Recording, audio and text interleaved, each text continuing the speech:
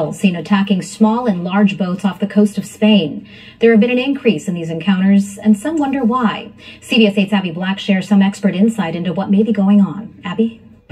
Orca sightings off of San Diego's coast usually start in June, but we're told they're still pretty far south. But they are making headlines in Europe where they're attacking boats, and some wonder are they being playful or are they seeking revenge?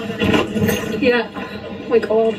Dramatic video of an orca slamming into a 66 foot sailboat off of Spain's southern coast. The force of the whale damaged the hull. Crews had to pump water off the boat. You hear him try to scare off the pod, but you still see a killer whale lurking by the boat. This is part of a wave of orca attacks on small boats and yachts in the Strait of Gibraltar.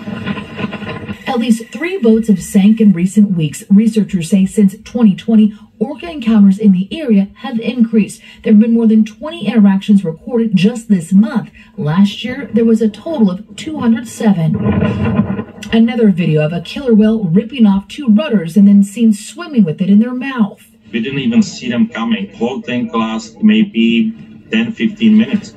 Researchers wonder whether this could be revenge or playful behavior. My personal opinion is uh, people do revenge, uh, animals don't do revenge. We spoke to Robert Pitman, a marine mammal researcher at Oregon State University who used to study killer whales in San Diego. So I think they're just playing around. I think they tried it once and uh, turned it into a game. And uh, as as it is with killer whales, things tend to spread among the group. Killer whales are matriarchal, and some believe the adult female in the pod may have had a traumatic experience with a boat and is seeking revenge. But Pitman says it's just playfulness. The uh, the matriarch is definitely in, in charge of the group and if she's in favor of it uh, or will let it happen, then it will. Uh, if she says no, then uh, it'll stop. He hopes that these attacks won't lead to people killing the whales. No one's been killed in the recent attacks and remains a wonder of the sea. Teddy, Teddy. Abby Black, CBS 8.